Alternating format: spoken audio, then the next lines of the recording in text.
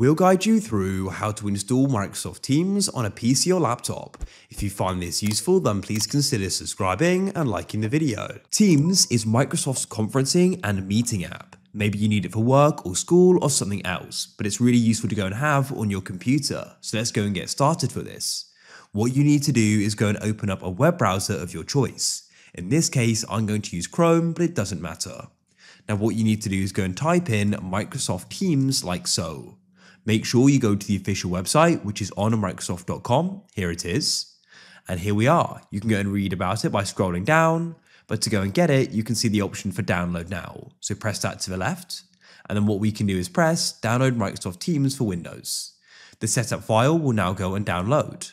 What we need to do is go and open up our file explorer. I'll come straight to my downloads, go and find the MS Teams setup file and double click it. And it'll go and say downloading Microsoft Teams. When it's finished downloading, it should automatically go and open up like mine has here. You can then choose an account to continue, or you can go and press create or use another account.